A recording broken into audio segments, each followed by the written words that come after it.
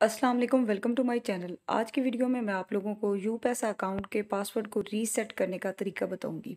सबसे पहले आपने यू पैसा अकाउंट से लॉगिन हो जाना है, उसके बाद आपको जो थ्री डॉट्स नज़र आ रहे हैं, इनको आपने एक दफ़ा प्रेस कर लेना है।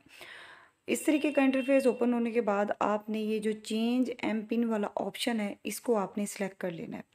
इसको आप जैसे ही सिलेक्ट करेंगे तो आपके सामने कुछ इस तरीके का इंटरफेस ओपन हो जाएगा।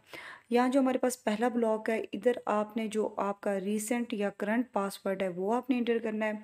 सेकंड और थर्ड ब्लॉक में आपने वो पासवर्ड एंटर करना है, जो कि अब आप अपना यू पैसा अकाउंट का पासवर्ड सेट करना चाहते हो। यहाँ मैंने अपना जो न्यू पासवर्ड है वो रीसेट कर दिया और उसके बाद मैंने कंफर्म वाले ऑप्शन को सिलेक्ट किया है। तो देखिए, मुझे नोटिफिकेशन मिल गया है कि मेरा जो पासवर्ड है वो सक्सेसफुली चेंज हो गया है। तो आप भी अपना जो अकाउंट का पासवर्ड है वो आप रीसेट कर सकते हैं।